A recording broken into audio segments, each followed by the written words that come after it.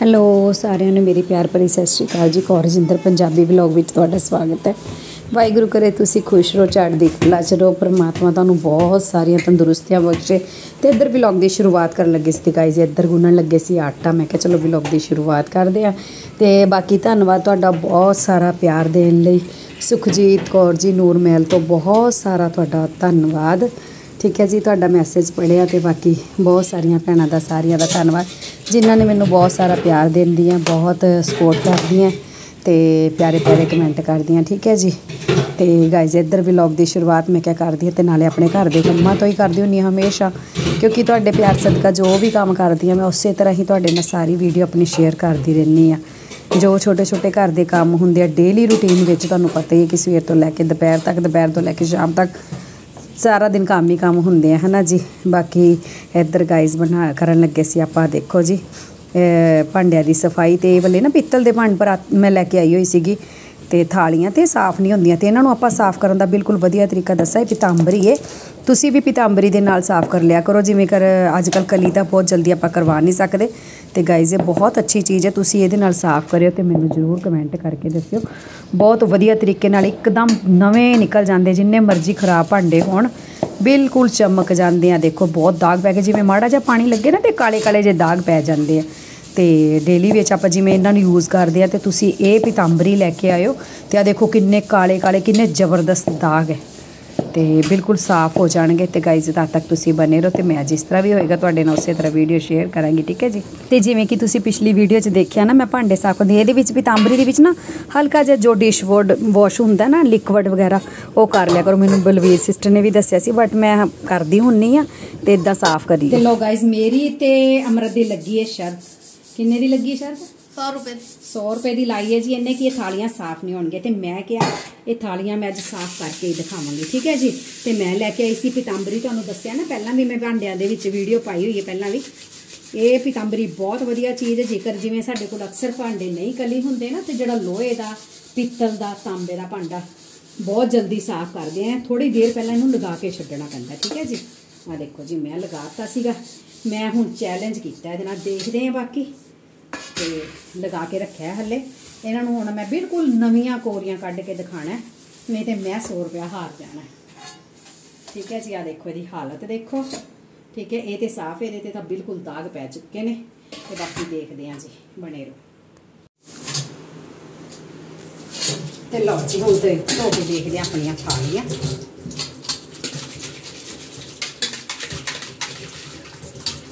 ਹਾਂ। ਸਾਫ਼ ਹੋਈ ਕਿ ਬੋਲ। ਬੋਲ ਵੀ ਅਬ ਕੁਛ ਹੁਣ ਕਿਉਂ ਨਹੀਂ ਬੋਲਦੀ? ਤੇ ਲਓ ਜੀ ਆ ਦੇਖੋ ਸਾਡੀਆਂ ਥਾਲੀਆਂ ਬਿਲਕੁਲ ਦਾਗ ਸਾਫ਼ ਹੋ ਗਏ। ਠੀਕ ਹੈ ਜੀ? ਆਪਾਂ ਥਾਲੀਆਂ ਆਪਣੀਆਂ ਨਵੀਆਂ ਬਣਾ ਲਈਆਂ ਸਟicker ਵੀ ਨਹੀਂ ਲੱਥੇ ਹੋਏ ਤੇ ਕਾਲੀਆਂ ਹੋ ਗਈਆਂ ਸੀਗੀਆਂ।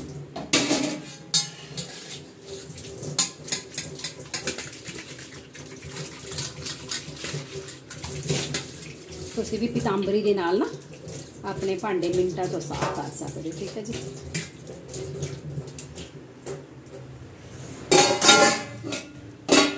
ਚਮਕ ਗਏ? ਚਮਕ।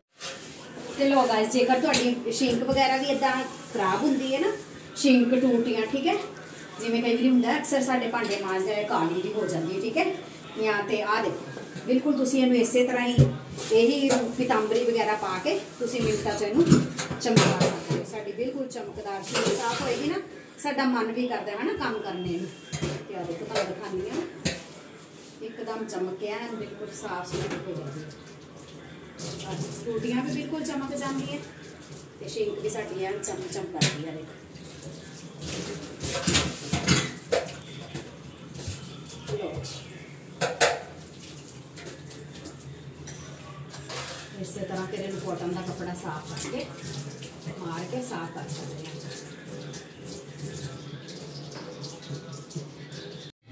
ਤੇ ਲੋ ਗਾਈਜ਼ ਇੱਧਰ ਲਾਣ ਲੱਗੀ ਸੀ ਮੈਂ ਧਨੀਆ ਧਨੀਆ ਲੈ ਕੇ ਆਈ ਸੀ ਬਾਜ਼ਾਰੋਂ। ਆ ਦੇਖੋ ਜੀ, ਮੈਂ ਭਿਗੋ ਕੇ ਰੱਖ ਲਿਆ ਸੀ ਰਾਤੀ, ਠੀਕ ਹੈ? ਹੁਣ ਆਪਾਂ ਇਹਨੂੰ ਲਾਣ ਲੱਗਿਆ ਗਮਲਿਆਂ ਦੇ ਵਿੱਚ ਤੇ ਮੈਂ ਕਿਹਾ ਚਲੋ ਆਪਣਾ ਲਾ ਕੇ ਦੇਖਦੀ ਆ ਧਨੀਆ ਬਿਲਕੁਲ ਨਹੀਂ ਮਿਲ ਰਿਹਾ, ਨਾ ਸਾਡੇ ਇੱਥੇ ਪਿੰਡ ਦੇ ਵਿੱਚ ਇੰਨੀ ਔਖੀ ਹੈ ਕਿ ਸਬਜ਼ੀ ਵਾਲੇ ਲੈ ਕੇ ਨਹੀਂ ਆ ਰਹੇ ਹੈਗੇ। ਕਹਿੰਦੇ 300 ਰੁਪਏ ਕਿਲੋ ਹੈ ਜੀ। ਅਸੀਂ ਕਈ ਵਾਰੀ ਕਹਿਤਾ ਵੀ ਚਲ ਸਾਨੂੰ ਅੱਧਾ ਕਿਲੋ ਕੁਝ ਲਿਆ ਦਿਓ। ਬਿਲਕੁਲ ਨਹੀਂ ਲਿਆ ਕੇ ਦੇ ਰਹੇ। ਤੇ ਆ ਦੇਖੋ ਜੀ, ਮੈਂ ਕਿਹਾ ਚਲੋ ਅੱਜ ਮੈਂ ਧਨੀਆ ਲਾਉਣੀ ਆ ਨਾਲੇ ਵੀਡੀਓ ਸ਼ੇਅਰ ਕਰਦੀ ਆ ਤੁਹਾਡੇ ਨਾਲ। ਇੱਕ ਮੈਂ ਨਾ YouTube ਤੇ ਬਹੁਤ ਵੀਡੀਓ ਵਾਇਰਲ ਹੁੰਦਾ ਦੇਖਿਆ ਸੀਗਾ, ਤੇ ਆ ਤੁਹਾਨੂੰ ਦਿਖਾਉਂਦੀ ਆ ਮੈਂ। ਆ ਦੇਖੋ, ਨੀਚੇ ਪਾਣੀ ਭਰ ਕੇ ਨਾ ਆ ਦੇਖੋ ਮੈਂ ਲਾਇਆ ਹੈ, ਹੁਣ ਇਸ ਤਰ੍ਹਾਂ ਲਾਇਆ ਹੈ। ਨੀਚੇ ਦੇਖੋ ਮੈਂ ਪਾਣੀ ਭਰ ਦਿੱਤਾ ਪਤੀਲੇ 'ਚ, ਤੇ ਆ ਜਿਹੜੀ ਟੋਕਰੀ ਸੀ ਮੇਰੇ ਕੋਲ ਟੁੱਟੀ ਜੀ ਪਈ, ਇਹਨੂੰ ਇਹਦੇ ਵਿੱਚ ਡੁਬੋ ਦੇਣਾ ਇਹਦੇ ਵਿੱਚ ਲਾਇਆ ਹੁਣ ਮੈਂ ਧਨੀਆ। ਬਾਕੀ ਦੇਖਦੀ ਆ ਕਿ ਇਹ ਜੰਮਦਾ ਕਿ ਨਹੀਂ। ਮੈਂ ਉਹਦੇ ਤੇ ਬਹੁਤ YouTube ਤੇ ਦੇਖ ਕੇ ਕਰਨ ਲੱਗੀ ਆ ਪਰ ਜੋ ਮੈਂ ਮੈਂ ਤੇ ਉਹੀ ਚੀਜ਼ ਦਿਖਾਉਂਗੀ ਨਾ, ਜੋ ਸੱਚ ਹੈ।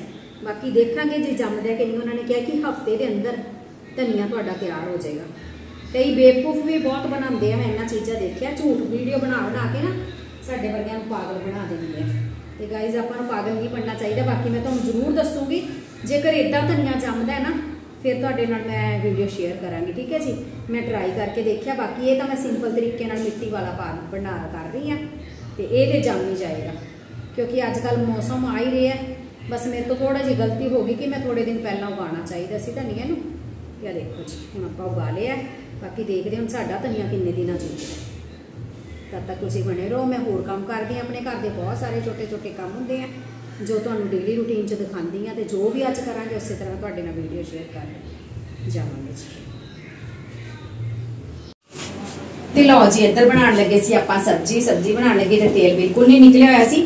ਮੈਂ ਟਰਾਈ ਕਰ ਰਹੀ ਸੀ ਕਿ ਇਹਦੇ 'ਚ ਨਾ ਇਹਦੇ ਨਾਲ ਪਾਵਾਂ। ਸਾਡਾ ਘਰ ਦਾ ਤੇਲ ਹੁੰਦਾ ਤੇ ਆਪਾਂ ਹਮੇਸ਼ਾ ਇਹਦੇ ਨਾਲ, ਮਤਲਬ ਇਹਦੀ ਹੀ ਸਬਜ਼ੀ ਸੁਬਜੀ ਜ਼ਿਆਦਾਤਰ ਤੇਲ ਦੀ ਬਣਾਉਣੀ ਹੈ। ਤਾਂ ਮੈਂ ਸੋਚ ਰਹੀ ਸੀ, ਮੈਂ ਕਿਹਾ ਚਲੋ ਇਹਦੇ ਤੋਂ ਪਾ ਦਿੰਨੀ ਆ ਬਾਕੀ ਦੇਖਦੇ ਆ ਡਰ ਲੱਗ ਰਿਹਾ ਸੀ ਕਿ ਡੁੱਲ ਨਾ ਜਾਵੇ, ਕਿਉਂਕਿ ਜ਼ਿਆਦਾ ਸੀ ਨਾ ਤੇਲ ਵਜ਼ਨ ਬਹੁਤ ਸੀਗਾ ਇਹਦੇ ਵਿੱਚ। ਮਤਲਬ ਹੈਗਾ ਵਜ਼ਨ, ਤੇ ਮੈਨੂੰ ਬੜਾ ਡਰ ਲੱਗ ਰਿਹਾ। ਮੇਰੇ ਹੱਥ ਕੰਬ ਰਹੇ ਆ। ਫਿਰ ਵੀ ਮੈਂ ਕਿਹਾ ਚਲੋ ਦੇਖਦੀ ਆ ਫਿਰ ਵੀ ਮੈਂ ਮੈਂ ਡਰ ਜਿਹਾ ਲੱਗਦਾ ਤੇ ਮੈਂ ਕਿਹਾ ਚਲੋ ਗੜਵੀ ਚ ਪਾ ਕੇ ਫਿਰ ਪਾਣੀ ਗੜਵੀ। ਗੜਵੀ ਚ ਕੱਪੜਾ ਮਾਰਨਾ ਕਦੀ ਕੋਈ। ਲੋ ਜੀ, ਗੜਵੀ ਚ ਪਾ ਕੇ ਸਾਨੂੰ ਆਸਾਨ ਹੋ ਜਾਏਗਾ ਨਾ। ਸੌਖੇ ਤਰੀਕੇ ਨਾਲ ਕਿਉਂ ਆਪਾਂ ਰਿਸਕ ਲੈਣਾ? ਕਹਿਣਾ ਰਿਸਕ ਨਹੀਂ ਲੈਣਾ ਚਾਹੀਦਾ ਸਾਨੂੰ।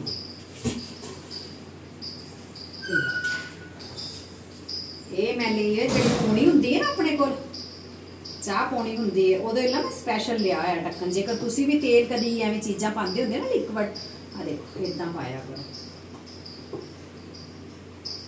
ਅੱਛਾ ਇਦਾਂ ਪਾਣਾ ਆਸਾਨ ਹੋ ਜਾਂਦਾ ਤੇ। ਡਰ ਜਿਹਾ ਲੱਗੀ ਜਾਂਦਾ ਮੈਨੂੰ ਤੇ।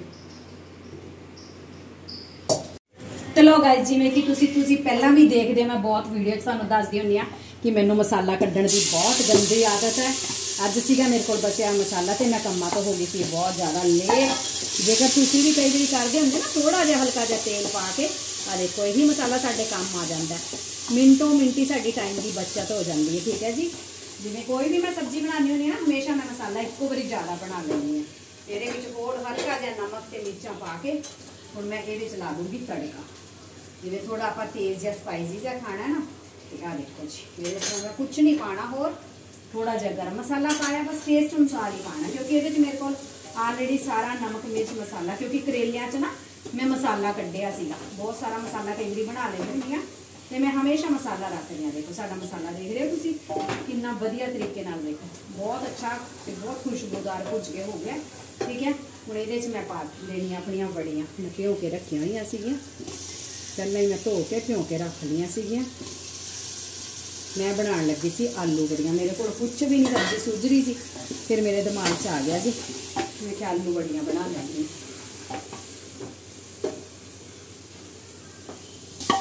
ਲਓ ਜੀ ਮੈਨੂੰ ਲੱਗ ਗਿਆ ਹੁਣ ਤੜਕਾ ਦੇਖੋ ਕਿੰਨੇ ਵਧੀਆ ਤਰੀਕੇ ਨਾਲ ਬਣ ਗਿਆ ਹੁਣ ਇਹਦੇ ਵਿੱਚ ਆਪਾਂ ਪਾ ਦਿੰਦੇ ਆ ਆਲੂ ਰਸਲੇ ਰਸਲੇ ਜਿਹੇ ਆਲੂ ਬਣਾ ਲਾਂਗੇ ਠੀਕ ਹੈ ਜੀ ਥੋੜਾ ਜਿਹਾ ਪਾਣੀ ਪਾ ਕੇ ਹੁਣ ਆਪਾਂ ਮਰਵਾ ਲਾਂਗੇ ਸੀਟੀਆਂ ਨਾਲੇ ਸਾਡੀ ਟਾਈਮ ਦੀ ਬਚਤ।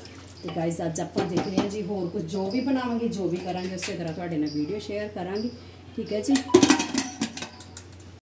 ਤੇ ਲੋ ਜੀ ਇੱਧਰ ਸਾਡੀ ਸਬਜ਼ੀ ਬਣ ਕੇ ਹੋ ਗਈ ਸੀ ਤਿਆਰ। ਇੱਧਰ ਬਣਾਉਣ ਲੱਗੇ ਸੀ ਆਪਾਂ ਆਪਣਾ ਦਲੀਆ। ਠੀਕ ਹੈ ਜੀ, ਆਪਾਂ ਦਲੀਆ ਬਣਾਵਾਂਗੇ ਅੱਜ ਪਾਣੀ ਵਾਲਾ। ਦਲੀਆ ਬਣਾਉਣਗੇ ਬੜਾ ਮਨ ਕਰ ਰਿਹਾ ਸੀ। ਤੇ ਇੱਧਰ ਦੇਖੋ, ਮੈਂ ਦਲੀਆ ਨੂੰ ਪਹਿਲਾਂ ਧੋ ਲਿਆ, ਕਿਉਂਕਿ ਮੈਂ ਬਿਨਾਂ ਧੋਤੇ ਬਣਾ ਨਹੀਂ ਸਕਦੀ। ਤੇ ਇਹਨੂੰ ਦੇਸੀ ਘਿਓ ਦੇ ਵਿੱਚ ਆਪਾਂ ਪਹਿਲਾਂ ਨਾ ਭੁੰਨ ਲਾਂਗੇ। ਜਿਵੇਂ ਆਪਾਂ ਨਾਰਮਲ ਭੁੰਨਦੇ ਆ ਨਾ ਉਦਾਂ ਭੁੰਨਾਂਗੇ ਇਹਨੂੰ। ਠੀਕ ਹੈ ਜੀ? ਤੇ ਲਓ ਜੀ, ਇੱਧਰ ਆਪਾਂ ਫੁਲਕੇ ਲਾਣ ਲੱਗ ਗਏ ਸੀ ਤੇ ਉੱਧਰ ਆਪਾਂ ਦਲੀਆ ਭੁੰਨਿਆ ਸੀਗਾ। ਤੇਰੇ ਕੀ ਭੱਜਣ ਲੱਗਾ ਸੀਗਾ ਇਹਨੂੰ ਮੈਂ ਭੁੰਨ ਕੇ ਨਾ ਚੰਗੀ ਤਰ੍ਹਾਂ ਤਾਂ ਬਣਾਉਣੀ ਹੁੰਦੀ ਹੈ ਵਿੱਚ ਪਾਣੀ ਵਾਲਾ। ਜਿਵੇਂ ਦੁੱਧ ਵਾਲਾ ਬਣਾਉਣਾ, ਦੁੱਧ ਵਾਲਾ ਵੀ ਬਣਾ ਸਕਦੇ ਹੋ, ਠੀਕ ਹੈ? ਜਿਵੇਂ ਦੇਸੀ ਘਿਓ ਚ ਆਪਾਂ ਪਹਿਲਾਂ ਭੁੰਨਦੇ ਆ ਨਾ, ਤੇ ਫਿਰ ਆਪਾਂ ਨੂੰ ਵਧੀਆ ਰਹਿੰਦਾ ਠੀਕ ਹੈ ਜੀ? ਇੱਧਰ ਬਣਾ ਲਈ ਆਪਾਂ ਰੋਟੀ, ਸਬਜ਼ੀ ਸਾਡੇ ਬਣ ਗਈ ਤਿਆਰ, ਕਿਉਂਕਿ ਟਾਈਮ ਹੋ ਗਿਆ 2 ਵੱਜ ਚੁੱਕੇ ਨੇ ਜੀ। ਅੱਜ ਬਹੁਤ ਲੇਟ ਹੋ ਗਈ ਮੈਂ। ਕੰਮ ਕਰਦੇ ਕਰਦੇ ਛੋਟੇ ਛੋਟੇ ਬਹੁਤ ਜ਼ਿਆਦਾ ਲੇਟ ਹੋ ਹੀ ਜਾਈਦਾ ਠੀਕ ਹੈ ਜੀ? ਉਧਰ ਮੈਂ ਕਿਹਾ ਚਲੋ ਦਲੀਆ ਬਣ ਜੂਗਾ। ਨਾਲੇ ਰੋਟੀ ਬਣ ਜੂਗੀ ਤੇ ਦਲੀਆ। ਤੁਸੀਂ ਕਿੱਦਾਂ ਕਿੱਦਾਂ ਬਣਾਉਂਦੇ? ਨਮਕ ਵਾਲਾ ਵੀ ਬਹੁਤ ਵਧੀਆ ਬਣਦਾ ਹੈ। ਤੇ ਮੈਨੂੰ ਜਰੂਰ ਕਮੈਂਟ ਕਰਕੇ ਦੱਸਿਓ, ਠੀਕ ਹੈ ਜੀ? ਤੇ ਗਾਈਜ਼ ਇਹ ਸਪੈਸ਼ਲ ਕਹਿਣੇ ਤੇ ਬਣ ਰਿਹਾ ਅੰਮ੍ਰਿਤ ਕੌਰ ਦੇ। ਅੰਮ੍ਰਿਤ ਦਾ ਬੜਾ ਮਨ ਕਰ ਰਿਹਾ ਕਿ ਮੈਂ ਦਲੀਆ ਖਾਣਾ ਦਲੀਆ ਖਾਣਾ ਤੇ ਖਾ ਲਓ ਜੀ। ਹੁਣ ਇਹਨੂੰ ਦੇਖੋ, ਚਿਲੇ ਭੁੱਜ ਗਿਆ ਨਾ, ਘਿਓ ਜਿਹਾ ਛੱਡ ਗਿਆ, ਤੁਸੀਂ ਦੇਖ ਰਹੇ ਹੋਣੇ। ਹੁਣ ਆਪਾਂ ਇਹਦੇ ਵਿੱਚ ਪਾ ਦਾਂਗੇ ਆਪਣਾ ਪਾਣੀ। ਮੇਰੀ ਰੋਟੀ ਵੀ ਸੜ ਜੀ ਲੋ ਜੀ। ਹੁਣ ਆਪਾਂ ਇਹਨੂੰ ਪਾਣੀ ਪਾ ਦਾਂਗੇ। ਫਿਰ ਇਹਨੂੰ ਆਪਾਂ ਰਿੱਝਣ ਦਾਂਗੇ ਥੋੜੀ ਦੇਰ ਲਈ। ਤੇ ਗਾਇਸ ਜੇਕਰ ਤੁਸੀਂ ਚਾਹੁੰਦੇ ਹੋ ਨਾ ਤੇ ਇਹਦੇ ਵਿੱਚ ਤੁਸੀਂ ਮਖਾਣੇ ਵੀ ਪਾ ਸਕਦੇ ਹੋ, ਠੀਕ ਹੈ? ਮਖਾਣੇ ਵੀ ਬਹੁਤ ਵਧੀਆ ਲੱਗਦੇ ਆ। ਤੇ ਮਖਾਣੇ ਪਾਣਾ ਚਾਹੋ ਪਾ ਸਕਦੇ ਆ, ਫਿਰ ਕਿਉਂਕਿ ਨਿਸ਼ਾਨ ਮਖਾਣਿਆਂ ਵਾਲਾ ਖਾਂਦਾ ਨਹੀਂ। ਇਸ ਕਰਕੇ ਮੈਂ ਬਿਲਕੁਲ ਸਿੰਪਲ ਬਣਾਉਣ ਲੱਗੀ ਹਾਂ। ਤੇ ਇਹਦੇ 'ਚ ਹੁਣ ਆਪਾਂ ਪਾ ਦਾਂਗੇ।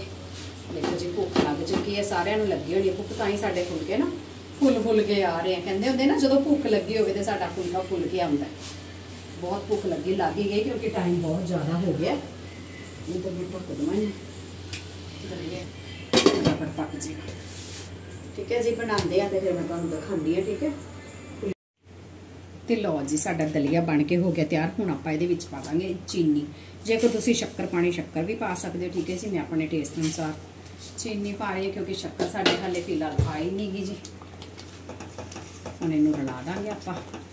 ਬਸ, ਹੁਣ ਸਾਡਾ ਸਿੰਪਲ ਸੋਬਰ ਦਲੀਆ ਹੋ ਗਿਆ ਤਿਆਰ। ਮੈਂ ਤੁਹਾਨੂੰ ਵਧੀਆ ਵਾਲਾ ਦਲੀਆ ਜਿਹੜਾ ਬਣਾਉਂਦੇ ਹੁੰਨੇ ਆ ਨਾ ਆਪਾਂ, ਉਹਦੇ ਵਾਲਾ, ਮਖਾਣਿਆਂ ਮਕੂਣਿਆਂ ਵਾਲਾ ਡਰਾਈ ਫਰੂਟ ਵਾਲਾ, ਉਹ ਵੀ ਜ਼ਰੂਰ ਬਣਾਉਂਗੀ, ਤੁਹਾਡੇ ਨਾਲ ਵੀਡੀਓ ਸ਼ੇਅਰ ਕਰਾਂਗੀ, ਕਿਉਂਕਿ ਇੱਥੇ ਤਾਂ ਮੈਂ ਸਬਜ਼ੀਆਂ ਫਟਾਫਟ ਬਸ ਅਚਾਨਕ ਤੋਂ ਡਿਮਾਂਡ ਆਈ ਸੀ, ਅਮਰਤ ਕੌਰ ਦੀ ਵੀ ਮੇਰਾ ਦਲੀਆ ਖਾਣ ਨੂੰ ਮਨ ਕਰ ਰਿਹਾ। ਮੈਂ ਕਿਹਾ, ਚਲੋ ਮੈਂ ਤੁਹਾਨੂੰ ਦਲੀਆ ਬਣਾ ਕੇ ਖਵਾਉਂਦੀ ਹਾਂ, ਠੀਕ ਹੈ ਜੀ? ਮਿਲਦੀ ਹਾਂ ਕੱਲ ਤੁਹਾਨੂੰ ਨਵੇਂ ਵਲੌਗ ਵਿੱਚ। ਤੇ ਮੇਰੀ ਰੈਸਿਪੀ ਕਿੱਦਾਂ ਦੀ ਲੱਗੀ? ਬਾਕੀ ਸਬਜ਼ੀ ਸੋਰੀ ਮੈਂ ਖੋਲ ਕੇ ਦਿਖਾਈ ਨਹੀਂ ਤੁਹਾਨੂੰ। ਸਬਜ਼ੀ ਦੇਖਾਂ ਪਹਿਲਾਂ।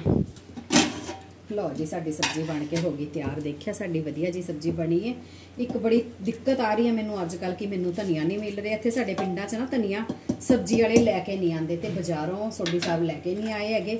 ਤੇ ਆ ਜੀ, ਸਾਡੀ ਸਬਜ਼ੀ ਬਣ ਕੇ ਹੋ ਗਈ ਤਿਆਰ। ਅੱਜ ਆਲੂ ਬੜੀਆਂ ਵਾਲੀ ਠੀਕ ਹੈ ਜੀ, ਮਿਲਦੀਆਂ ਕੱਲ ਤੁਹਾਨੂੰ ਨਵੇਂ ਵਲੌਗ ਮੇਰਾ ਬਹੁਤ ਸਾਰਾ ਪਿਆਰ ਬਹੁਤ ਸਾਰਾ ਪਿਆਰ ਦੇਣ ਲਈ ਮੇਰੀ ਵੀਡੀਓ ਨੂੰ। ਬਹੁਤ ਸਾਰਾ ਧੰਨਵਾਦ।